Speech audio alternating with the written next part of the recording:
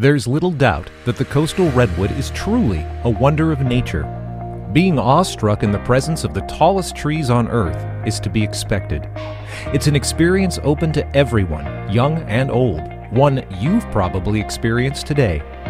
But for the scientists studying Sequoia sempervirens, the coastal redwood takes on a whole new magnitude of wonder. Take water. All trees absorb water in their roots and transport it up through the trunk and limbs to the crown. In fact, the ability to passively transport water up is one of the main factors that governs how tall a tree can grow. It stands to reason that the tallest trees on the planet are very good at this. But coastal redwoods supplement this mechanism in some very interesting ways. First is fog drip. During our drier California summers, as temperatures rise inland, coastal fog is pulled onshore. As the marine layer drifts through the redwood forest, the limbs and needles in the upper reaches of the canopy comb moisture from the passing fog.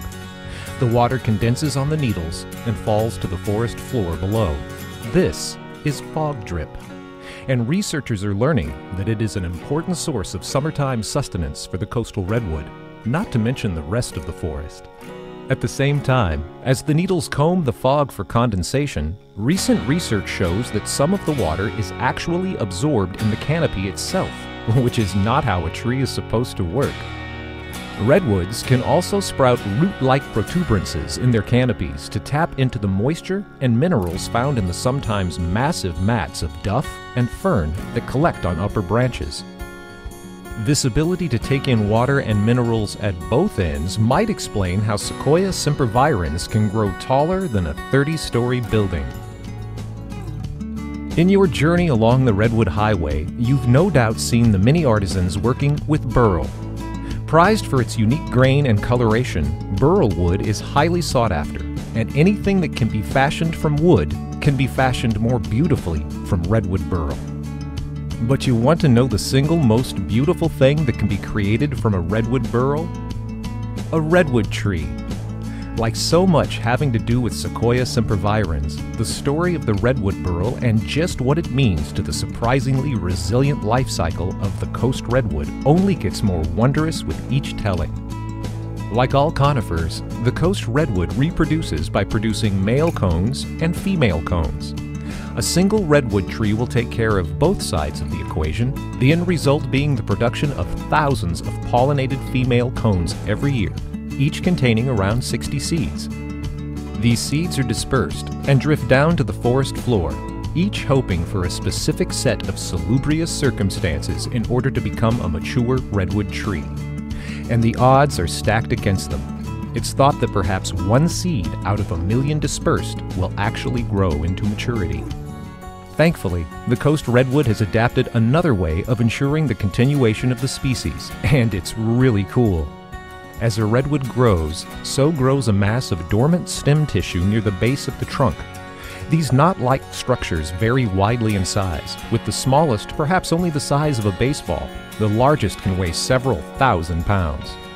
They have a redder coloration, different surface texture, and an often variegated grain pattern. This is a burl, but what is truly magical about a redwood burl is that each one is chock full of nascent redwood sprouts. Ordinarily, these sprouts remain dormant, but if something untoward should happen to the tree fire, wind damage, even logging hormones present in the burl stem tissue trigger the emergence of the sprouts. And each one of these sprouts could become a mature redwood tree. And what's more, when compared to the relative travails of a seedling, burl sprouts have a better chance of becoming a mature redwood because they're part of the parent tree. In fact, genetically, they are the parent tree. They have immediate access to the larger tree's extensive root system and can grow more easily with less light and fewer surface nutrients. Now that's a leg up on life.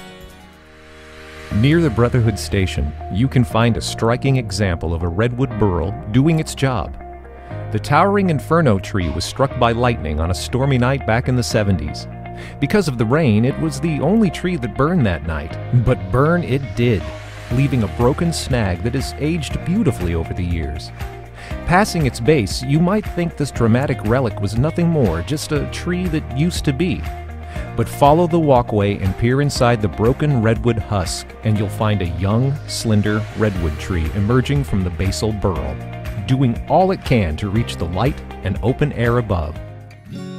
Often, a damaged tree will sprout a close grouping or ring of burl sprouted offspring that remain after the parent tree has been removed or simply rotted away over eons. These groupings are called fairy rings, and once you know what they look like, you'll see them everywhere in the trees of mystery. In fact, the next couple wedded before the towering majesty of our own cathedral tree will be standing in a partial fairy ring, a silent reminder not just of nature's stupendous beauty, but also to the tree's own progenitor, now long gone, to whom they are each genetically identical. And that's the coolest thing about a redwood burl. This asexual regeneration can go on for millennia, each subsequent generation growing literally from the one before it, genetically identical, an unbroken lineage that could last a million years or more.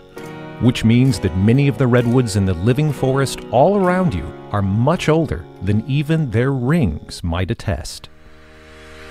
See, as with so many aspects of the mighty, impressive, nearly eternal Sequoia sempervirens, the story gets more wondrous with each telling.